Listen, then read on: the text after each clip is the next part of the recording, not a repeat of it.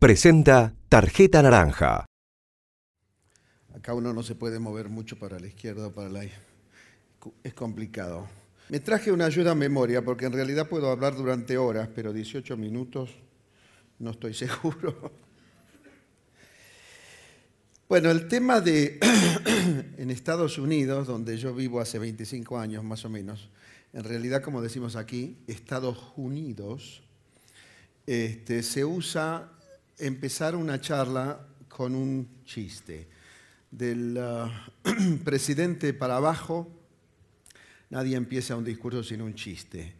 Estos chistes los escribe, por supuesto, otra persona.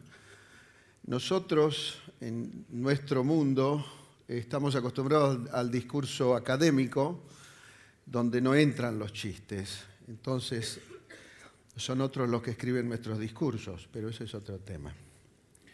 Este,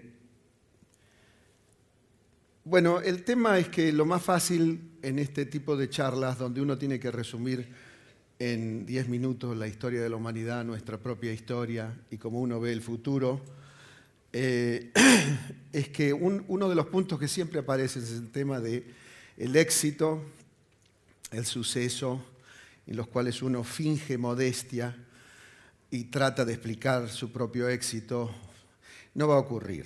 No hay recetas para el éxito y además yo pienso que el éxito no existe. He estado leyendo una biografía de Leonardo da Vinci donde Leonardo consideraba que él era un fracaso, era un fracasado. Y lo enumera todo lo que él ha querido hacer. Después me pueden preguntar, les cuento todo lo que quiso hacer y no lo logró. Enumera todo eso y dice, soy un fracasado y además he hecho Nada, he pintado 12 cuadros. Entonces, el punto de esto es que nadie puede, nosotros no podemos evaluar nuestro éxito o suceso, son otros los que lo evaluarán.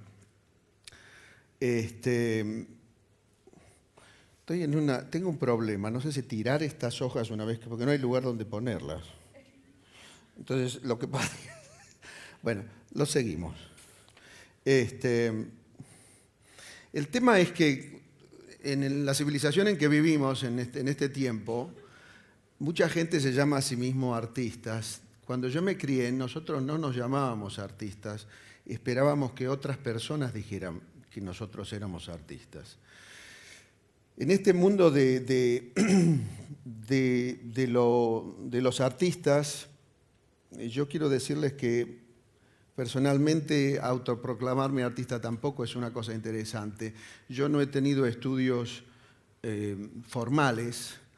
Mi papá, que era un poeta y era un hombre muy interesante, pensaba que cuando uno estudia, en la etapa en que uno estudia, que uno es muy joven, muy, muy fácil de que uno sea este, influenciado, es en general influenciado mal y a veces por gente no tan excelsa o profesores mediocres. Entonces no me dejó estudiar, me regaló una gran colección de libros de arte, me dijo, mira, esto es todo lo que se ha hecho antes, hacé de acá para adelante lo que puedas. Entonces yo le dije, bueno, pero ¿y las técnicas? ¿Cómo aprendo las técnicas? Ah, me dice, no, las técnicas tenés que inventártelas vos todos los días. Y este tema de que uno tiene que inventarse las cosas todos los días es otro de los temas importantes en un libro mi padre pone que se encontró en una, en una caverna una antigua lámpara. En la lámpara estaba escrito, me consumo al servicio de los demás, que es adecuado para una lámpara. Este, pero ¿qué significa, este, ¿qué significa esto? ¿Qué, qué, ocurre cuando se produce luz? Que, se, que desaparece la oscuridad. ¿Y qué significa eso? Significa que el trabajo artístico, de alguna manera, es revelar algo que es invisible. Eh, ah, bueno, además van a poder dividir su atención en dos porque hay imágenes de películas atrás. Este, esto de revelar lo invisible puede sonar presuntuoso, pero hay dos cosas. La realidad como la vemos, la realidad inmediata, es caótica, es absurda, es este, tremenda. Y pareciera que el trabajo de los artistas no es eso, ese es el trabajo de los periodistas, ¿no es cierto? Hay un cadáver en la ruta, van y sacan una foto. Cuando a un artista le toca reflejar esa parte de la realidad, le pasa lo que a Picasso con el Guernica y hace una metáfora de esa parte de la realidad. Entonces, este, voy a hacerlo así nomás. Porque lo que pasa es que lo que ocurre en el aquí y en el ahora es irrelevante para el arte. El arte trabaja en un área que está fuera del espacio y del tiempo. Eso no quiere decir que nosotros estemos fuera del espacio y del tiempo. Nosotros estamos en el ahora y aquí. Este, pero la metáfora a la cual vamos a volver brevemente es una parte muy importante. El tema de dónde viene, de dónde viene en nosotros la energía creativa es muy interesante, porque decididamente no viene de la cabeza, no es un fruto del intelecto y de la mente, tampoco viene de las tripas, como pretenden hacernos creer muchos de los que dicen que el arte debe estar comprometido, ya sea con lo político o con otras cosas. Viene de un lugar en medio de estos dos, más o menos por acá, donde antes se decía que existía algo que se llamaba el corazón. También metafórico. Pero el arte como es una, una intuición que se genera en ese, en ese lugar, este, es muy fácil decir, bueno, el corazón metafórico no existe. Bueno, pero el producto de eso, el amor existe. Y si el amor existe, el corazón también debe existir nosotros nos hemos creado en Occidente. Occidente ha desarrollado una forma de pensar que ahora está empezando a modificarse, está integrándose con otras formas de pensamiento. Pero en general hemos complicado enormemente las cosas. Occidente dedica libros y todas clases de cosas a explicar cosas que son muy sencillas. Inclusive los filósofos escriben en lenguaje filosófico, por lo tanto, si no somos filósofos no entendemos la filosofía, etcétera, etcétera. Típico de Occidente. En Oriente los grandes maestros parecían dedicarse a hacer que lo muy complejo fuera vertido de tal manera que cualquier persona pudiera entenderlo. Y tengo un ejemplo de esto que a mí me encanta. Si si nosotros pensamos en algo tan complejo como la historia comparada de las, religiones, de las tres religiones eh, monoteístas, el judaísmo, el cristianismo y el islam, Kierkegaard creo que le dedica seis libros a eso. Rumi, un poeta del siglo XI persa, lo define en cinco líneas, acá van las cinco líneas. La semilla de este conocimiento fue puesta en la tierra en la época de Adán, germinó en la, época de Noé, se convirtió en un árbol en la época de Moisés, dio frutos en la época de Jesús y produjo vino en la época de Mahoma. Sencillo, ¿no? Bueno, pero la simplicidad es muy complicada. ¿Cómo se llega a lo, a lo sencillo? Este, Estoy tratando de ver cómo se llega a lo sencillo acá. Este, bueno, la, búsqueda de, simplicidad en el trabajo de uno, de la simplicidad en la manera en que uno piensa, es un trabajo complejo porque uno se tiene que cansar primero de lo complicado, de lo estúpidamente burocratizado en la forma de pensar y encontrar su propio camino para pensar de una manera más sencilla. No es importante quiénes somos realmente ninguno de nosotros, sino qué es lo que queremos. Y para definir eso a veces hace falta encontrar la palabra justa. En todo trabajo que nosotros tenemos, toda tarea, una parte muy importante de la tarea es definir conceptualmente de qué se trata.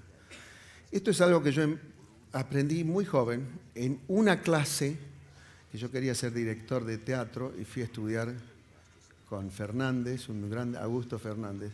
Y en esa clase aprendí una cosa que usé después cada día en mi vida. Primero, agarrando un texto, ¿no es cierto? Un, libro, un libreto. ¿Quién es el protagonista? Que no es necesariamente el primer nombre arriba. ¿Quién es el protagonista? ¿A quién le ocurre el conflicto. Segundo, qué fuerzas se oponen a ese protagonista. Y tercero, cómo es ese conflicto entre la fuerza que se oponen y el protagonista. Con eso se puede diseñar una película, dirigir una película, se puede hacer cualquier cosa en términos de narrativa. Si uno tiene claro eso, puede hacer cualquiera de esas cosas. Parece un remedio barato, pero conceptualizar, encontrar el por qué y el quién, más que el cómo. El cómo se hace es irrelevante, siempre hay una manera. Es el por qué el punto del, trabajo creativo. un hombre sabio que conocí una vez, y creo que en la vida de todo el mundo debería haber por lo menos un hombre sabio, este hombre sabio, que yo considero un hombre sabio, le pregunté de dónde venía, dónde encontraba uno las soluciones para el trabajo que tenemos cada día. Porque yo soy, una, yo soy vago, soy, no, soy, no hago research, no me pongo a estudiar la época, leo el guion malamente, lo dejo un par de semanas que esté hirviendo así, y después viene algo ya como hecho de adentro. Entonces yo le pregunté, pero ¿qué pasa? cuando se hace la película, lo que yo vi, muy parecido a lo que yo vi, aparece en la película. ¿Qué pasa? ¿Veo el futuro? ¿Qué es? No, me dijo este hombre sabio, me dijo, no, no, no, usted le pone, provee algo a su mente, que es el guion, lo lee. Su mente es este, una computadora muy refinada, pero usted trae una carga genética también, como todos nosotros. En esa carga genética, más todo lo que usted aprendió, hay, es, lo que usted es. Su mente hace el trabajo y extrudes, como se dice, saca para afuera el resultado. Entonces no es necesariamente uno, el yo, la mente, la resolución de la cosa, sino que se hacen a través de uno. Hay una frase que ahí la mencionó mi presentador, que le agradezco mucho, que a mí me viene muy bien siempre, que es esto también pasará.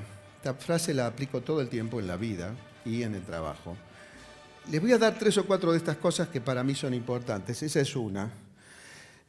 No la voy a analizar porque simplemente yo la uso como un hecho y algo que me es útil, sin hacer esoterismo con ello. La otra es, no estamos aquí por accidente. La idea de que nosotros estamos aquí no por accidente es muy positiva. Eso no significa que me ponga a pensar, bueno, ¿qué ¿por dónde, de dónde vengo? No, no. La idea sola de que no estamos por accidente aquí es, tiene un valor y yo lo uso. Este, la idea de la metáfora, de la cual mencionamos hace un ratito, es que todo trabajo artístico es la búsqueda de metáforas, de maneras de pasar un mensaje a través de metáforas. Quiero darles un, ejemplo que a mí me encanta, de práctico de metáforas. Este quiere decir que nos estamos yendo de tiempo ya. ¡Wow! Si se acabó el, si se acabó el video. Este, es una historia de un, de un señor que tiene que rescatar a un grupo de prisioneros de una cárcel. Y se da cuenta que la manera más eficiente de hacer eso es condenarse, hacerse condenar él por un, un crimen que no ha cometido para estar dentro de la cárcel con los eh, presos. Cuando llega se da cuenta de que hay un problema en la cárcel. Los presos sufren de un síndrome de una enfermedad de cárcel que los hace pensar que su cárcel es el mundo entero. Entonces cuando el rescatador trata de decirles que hay que huir al mundo exterior, no lo entienden porque si este es todo el mundo, ¿por qué vamos a tener que ir al otro? Entonces, todo lo que él le dice ellos no entienden. Él le dice, tenemos que juntar comida para el viaje. Juntar comida en términos de la cárcel significa castigo, recibir castigo de los guardias. Entonces el hombre tiene que usar metáforas, porque no lo entienden. Después de un tiempo, algunas de estas personas lo escuchan, algunos lo siguen, inclusive un grupo se complota para matarlo. Eh, eventualmente este hombre muere y algunos logran escapar aquí y allá. Otros hacen de su vida y sus dichos, un culto carcelario que usan para reconfortarse a sí mismos y también para encontrar argumentos contra el próximo rescatador que se acerque a ellos. Este cuento, que es un cuento muy antiguo, que ilustra nuestra situación tan bien y tan penosamente, es una, es una metáfora en sí mismo. Este es el ejemplo que les quería dar de metáfora. Bueno, la próxima es que el arte no existe, lo que existe son los artistas. La palabra creatividad es una palabra que me preocupa porque suena extraña, pero la palabra arte, que viene del sánscrito hacer, es una palabra reconfortante. Eh, esos artistas que son esas personas que desde el principio del tiempo han agarrado un poco de tierra coloreada y se han puesto a dibujar en las paredes de la cueva un bisonte o lo que fuese. Eh, es donde, ahí en ese trabajo es donde está el misterio, ¿no es cierto? Uno puede pintar un retrato y en el retrato hay más cosas sobre el retratado de lo que el retratado nunca podrá saber este, o contarnos. Y la próxima cosa que a mí me parece que también tiene que ver con todo, todo esto, quizás un poco desordenado que les he contado, es que el tiempo tampoco existe.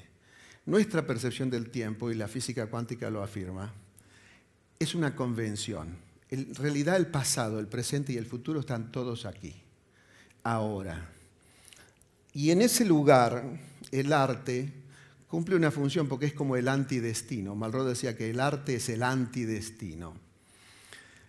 ¿Y qué significa? Tenemos un destino. En la película Lawrence, que les recomiendo porque es una gran película, Lawrence de Arabia, el rey le dice a Lawrence, todo está escrito. Y Lawrence le retruca, nada está escrito. Bueno, en realidad las dos cosas son verdad. Todo está escrito y nada está escrito. Porque nuestro futuro evoluciona junto con nosotros. No hay un futuro, hay muchos futuros. Cada uno de nosotros tiene muchos futuros. Depende de cómo manejemos el presente. Este, el, tratar de entender el proceso creativo es similar a tratar de, de desanudar un nudo que se ha hecho antes. Para hacer eso hay que volver a pasar por el lazo, volver, a, volver la soga para atrás, y en términos de lo que es el trabajo creativo, uno tiene que meterse en el inconsciente, volver a la fuente, a ese receptáculo donde antes de nacer se pusieron todas estas cosas. Es un trabajo muy, muy, muy difícil abrir el proceso creativo y entenderlo. Y el último punto que voy a hacer, lo más brevemente que pueda, es que la gente se pregunta si el arte es relevante para el universo. O sea, Rembrandt, ¿influencia el movimiento de la galaxia? No. Pero Rembrandt no le habla a la galaxia, nos habla a nosotros. Entonces, este, el arte es un don dado al hombre. Hoy con el Internet nosotros tenemos un receptáculo del conocimiento de toda la humanidad. Tenemos los cánticos, las imágenes, todo está ahí. Toda nuestra herencia está en un lugar que nos permite ya no ser cordobeses, argentinos o chilenos, que borra todas estas falsas nacionalidades inventadas políticamente y por otras razones. Nosotros somos ahora todos miembros de la humanidad y está muy claro y tenemos que usar lo que nos queda. Y en ese lugar, en ese lugar donde están nuestros ancestros, observándonos, porque si el tiempo no existe, están todos acá, sigue el hombre de las cavernas pintando, sigue Rembrandt dibujando, y ese es el gran misterio del trabajo creativo. Muchas gracias.